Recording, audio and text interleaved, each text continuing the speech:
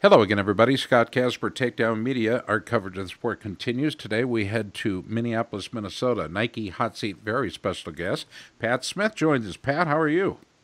Doing great. Thanks, Scott. I'm ready to talk Greco, dude. It's been several years. You've been constantly flirting with the spot on the Greco national team. Well, you really broke through on the weekend in Vegas on April 30th when you won the 71 kilo title, earning you a spot on that team for the 2017 World Championships. It'll be in August. It'll be in Paris. How excited are you? Oh, I'm really excited. Um, like I've said a couple times, it's it was a pretty vindicating experience. You know, I've been towing the line, like you said, for a long time, and uh, it just it feels good to finally break through and get my opportunity to represent the U.S. in the in the World Championships. It's been a goal of mine since I was a little kid, and um, uh, I'm really excited for the opportunity to to compete on that stage. You know, you, you're, you're part of that famed Minnesota Storm. Uh, uh, what I call the wrecking crew. Okay, uh, it, seems it seems to me that you know, that. pardon. I said I like that. We should trademark that. It was trademark it. Yeah. uh, but Pat, this is this is your time to shine, and, and you're really standing up and representing the team. Guys like Joe Rau and others, uh, uh, they're so so much in your corner. Can you talk about the, the team aspect of, of the storm being there for you?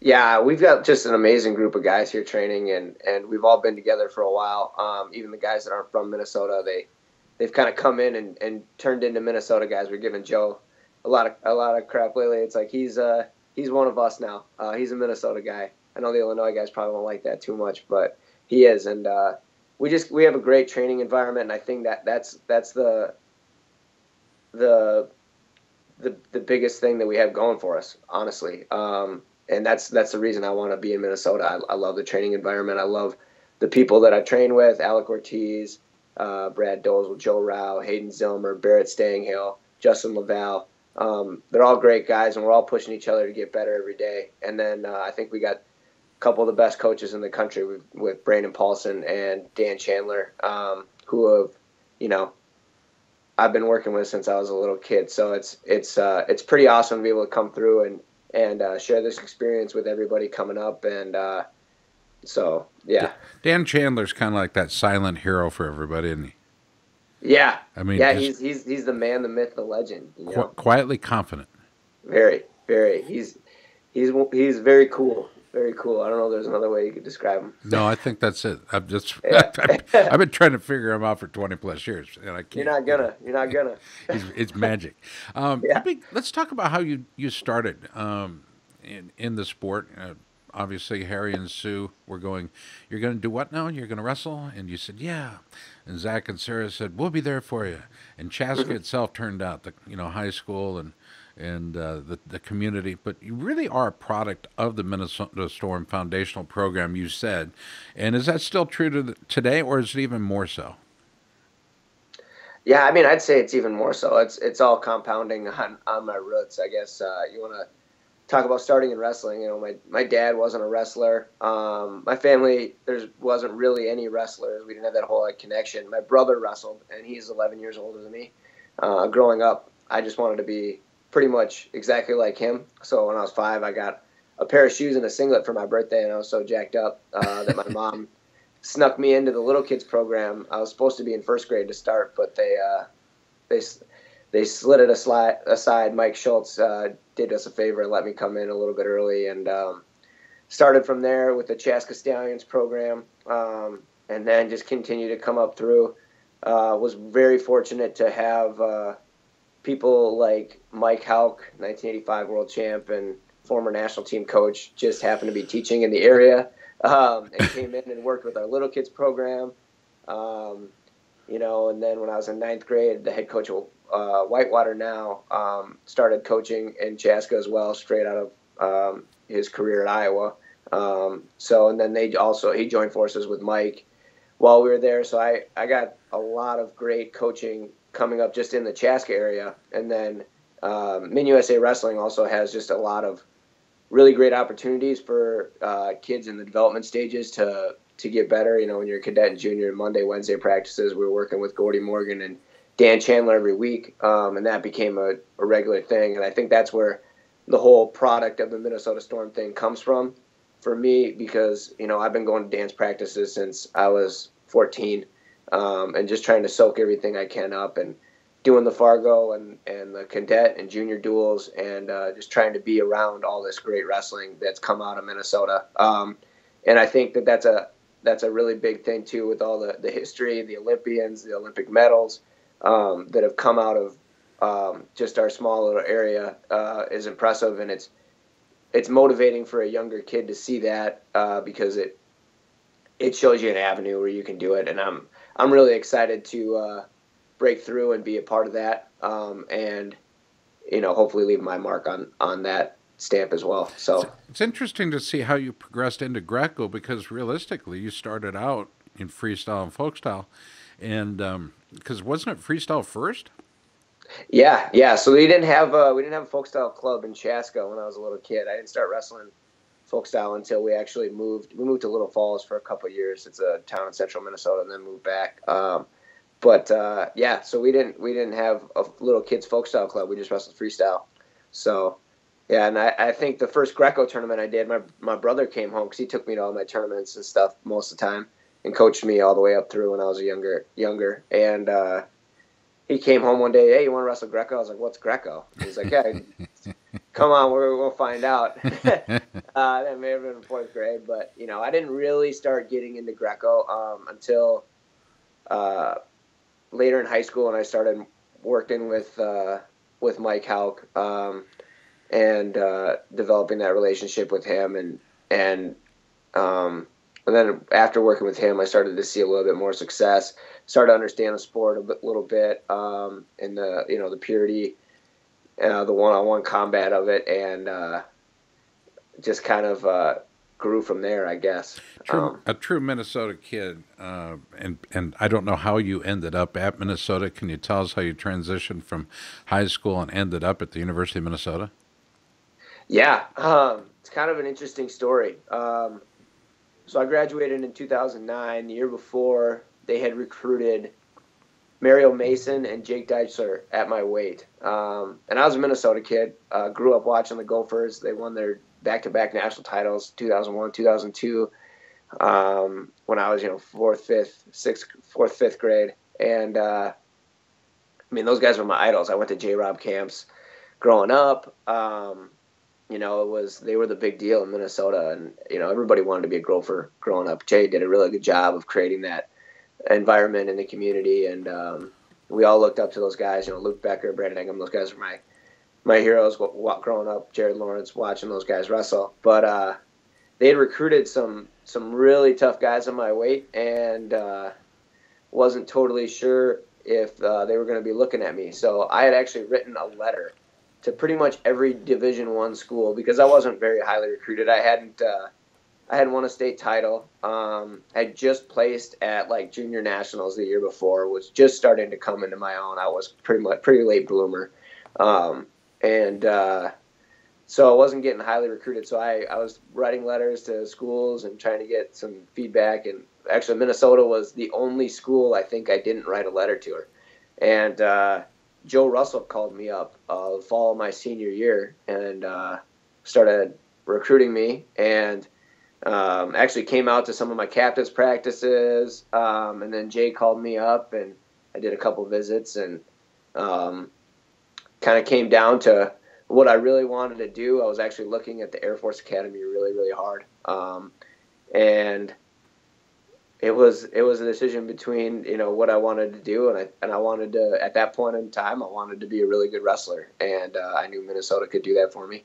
Mm. Um, so uh, I wasn't totally sold on the military thing uh, at that point either. So um, so I decided to come to Minnesota and you know um, made a, a, ton of awesome friends. Like I said, uh, you know a lot of the the whole thing with um, being a product of Minnesota and, and all of that is uh, the opportunity to be able to to be around and uh, rub elbows with some of like the best people uh, you'll ever come in contact with, and that just continued when I came to Minnesota. Not let alone like my training partners and everybody I was around, like Tony Nelson, Kevin Steinhaus, uh, Jake Deitchler, all those guys were in my class coming in, and you know David Thorne I mean, the list can go on and on. And then you know the the mentors around them, like Jay Jay Robinson, obviously has a huge impact on the life, my life, and the way I think. And Brandon Eggum, Luke Becker. Um, but legitimately, we can we can so, point we can point the first finger at Joe yeah. Russell, who just accepted yeah, a new position. Joe and, and yeah. Sadie and, and Taft will be heading out to Colorado Springs. Um, and, and I think this is where he was destined to be anyway. You think about how he helped you. He's helped mm-hmm. hundreds of other kids just like you, you know? Yeah. What yeah, Joe's one of the, the best people I've ever met. I'm really period. excited. Yeah. So just, I, I, you, I can't speak enough about how amazing a person Joe Russell is. Uh, and he's going to do awesome things wherever he goes. And so I'm excited that he'll be out in Colorado and I can see him doing, every go out there. So. In doing my research on you, I was talking with Joe and Sadie, and they, they informed me that uh, perhaps it's it may not be on your bio, but uh, they tell tell me that they shared with me that you love playing jazz flute. Is there yes. any truth to that? Huge jazz, yeah. huge jazz flute. that, that's more for Joe Rau than anybody. I'm, I'm, a little rusty though. I'm a little rusty. but no, you're actually a, you like to play guitar.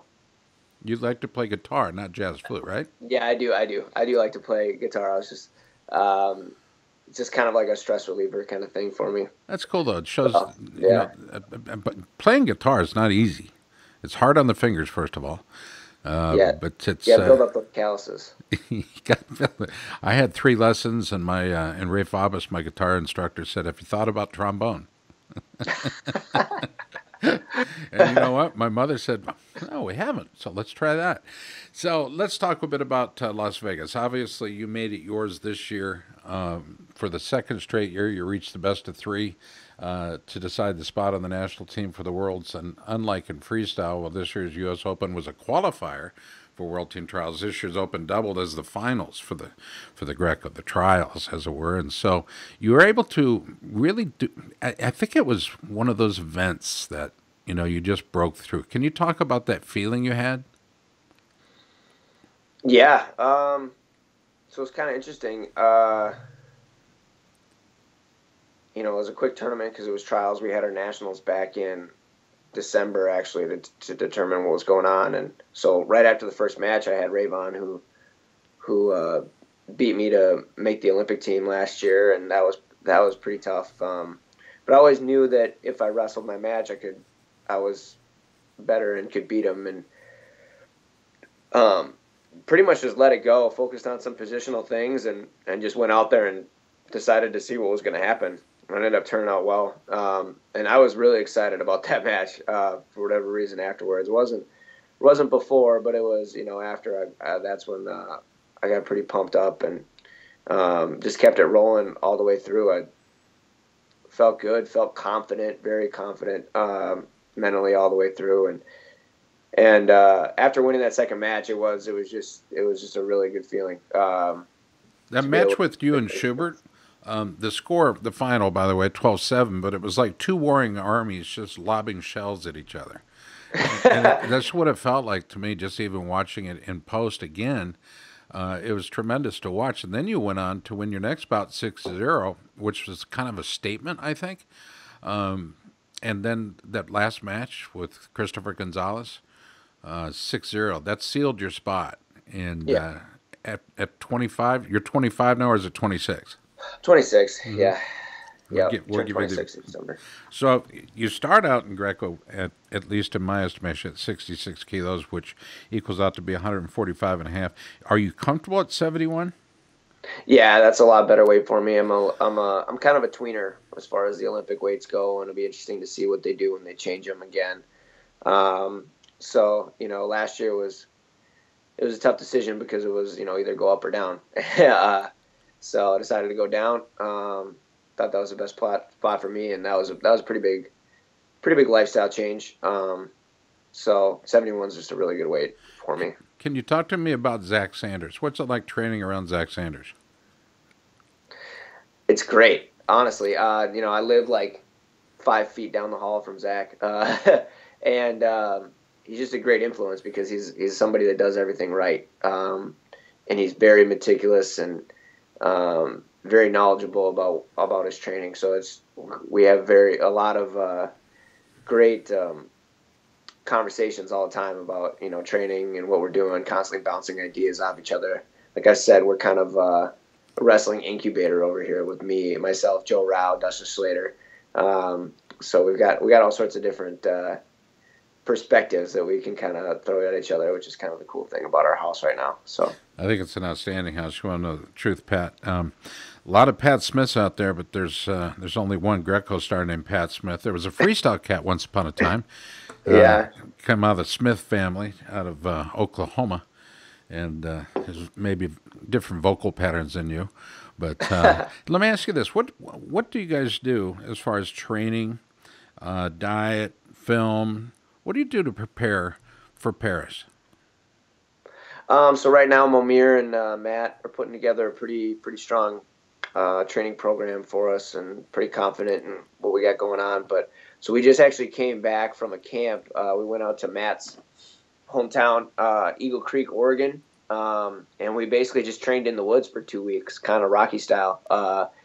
Uh, he's got uh, a friend who uh, owns a car dealership in Gresham, Weston Kia, um, and he kind of put us up for the week along with uh, a couple other people. And you know, we worked out three times a day, running, lifting, and uh, circuit training. Um, and then uh, on the side, we we got to do some fun stuff too, which was really cool. But um, so we were out there uh, for the last two weeks. Just got back. Now we're kind of uh, just getting ready for Tbilisi Grand Prix in Georgia, which will be on June 11th. I leave on the 6th for that, um, and that'll be a good tournament. Uh, kind of a good time to get some matches in before Worlds, uh, see that international competition, and then once we get back from that, or uh, once that's over, we're going to go straight to Budapest and train with the Hungarian national team for two weeks and then uh, we'll be back uh, the month of July um, training in Colorado. Um, and that'll be our main world team camp, and then we're button right up. And August 11th, we head out and acclimate and get ready to go. So. Pat, I'm going to ask you about something uh, Timmy Hand said about you and writing about you. He said this is one dude who doesn't just prefer hard contact, but almost seems to need it in order to get going. I've seen it. I, have I've seen it before in other high level athletes, guys like Cael Sanderson. Uh, uh, the, the list goes on. Uh, Jake Varner is a perfect example. Ben Askren was another example. He'll, you know, he'll, it's like you get your attention, and you're down by one or two. It's like you get the attention, then all of a sudden you start firing on cylinders. Is that fair to say? Yeah, yeah. I mean, uh, I, I'm I'm more about the uh, the battle when it comes to wrestling. So as far as uh, contact goes, you kind of hit it on the head. I need a good contact warm up. I need a once we start banging and going hard, that's uh, that's when the fun starts. That's when you know guys starts coming back back at you. That's when I like to see. So that's I don't know. That's my favorite part of wrestling is is uh, the fight. I guess you could say. So that's pre- it's a pretty good uh, pretty good observation by by Timmy Hand of five point move. Yeah, he seems to, he's he's got a way with words. He does. He's, he's other people, yeah. Other people not have way. Um, all right, so Pat, let's let's give some thanks where uh, where credit is due because, quite frankly, none of us wrestled to this point and this level that you're at all by yourself. So, who do you want to thank? Huh, like uh, a lot of the people have mentioned all the way through, you know, Min USA Wrestling, um, everybody back in Chaska, uh, and my family, um, and my brother, eh, my parents, my sister, my niece and nephews. Um, obviously, the Storm uh, wrestling team. Without them, it's not possible. Jordan Holm for everything that he's done to grow it. All my training partners um, USA Wrestling for all the opportunities that I've gotten over the few years, uh, last few years. Um, Minnesota Gopher Wrestling uh, and that family and everybody there, and um, I'm sure there's a ton more. Body Rejuvenation, uh, it's the uh, the strength and PT program that I've been doing out of uh, Shoreview, Minnesota. Uh, Pinnacle Wrestling, um, yeah, everything. Is that, that is that how you're paying? I'm sure I'm sure I'm missing some people. You know who you are. Uh, so hopefully, oh, um, there's also uh, Maximize Living, Jared Oshendorf, or Oshendorf, um, great chiropractor in the Minnesota area. Um, Shelly Larson, who helps me out with some massage stuff. She's out of Lakeville. Uh, man, should have told me we were going to do this. I would have wrote down a list, Scott. But that's not fair, though. I mean, that's, there's, that's, there's that's more. There's, all, there's so many people that are that are part of the team, and it's just it's it's pretty awesome uh, the, to be able to um, to get to this level because they've been they've been right there with me with all the support, just as uh, as much as I've been pushing. You know, so there uh, it's a it's it's been definitely a giant team effort. There's always a million other people that are involved uh, in something something like this. So uh, very grateful for everybody and that's that's been around. Now, knowing me, I'm from Minneapolis originally myself, and I would find myself cruising around Lake Calhoun, Lake of the Woods, Lake Harriet, etc. Mm-hmm. Were you on the water at all over the weekend? Yeah, we me and Zach just actually me, Zach, and Joe went uh, went out to Calhoun yesterday. Um, hung out, played some frisbee, you know, walk the lakes and stuff. Good active rest. So I like. It was that. gorgeous yesterday. You got to get out to Calhoun and and uh, and just enjoy the the the sun.